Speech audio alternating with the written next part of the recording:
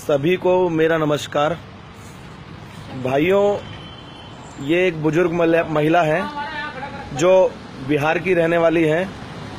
ये किसी के साथ दिल्ली आई थी अपने बेटे के पास, जो कि गुम हो गई हैं, खो गई हैं, और ये अपना नाम राम सखी देवी बताती हैं। इनके पति का नाम स्वर्गीय कारू महतो है।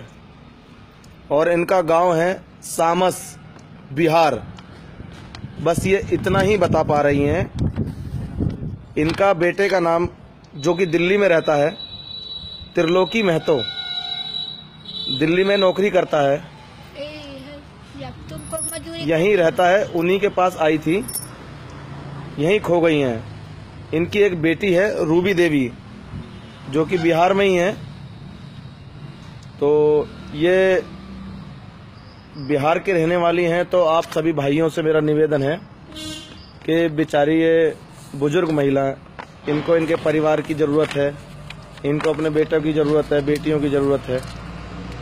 ये बेचारी यहाँ दर दर भटक रही हैं। तो आप सभी से निवेदन है कि इस वीडियो को ज़्यादा से ज़्यादा शेयर करें, ताकि ये माता जी अपने घर सही तरीके से सुरक्षित पहुँच जाएँ और भाइयों, मेरा भी आपसे हाथ जोड़ का निवेदन है कि इस बुज़ुर्ग महिला की मदद करें, इनके बच्चों को ढूंढवाने में और इस वीडियो को ज़्यादा से ज़्यादा शेयर करें। धन्यवाद।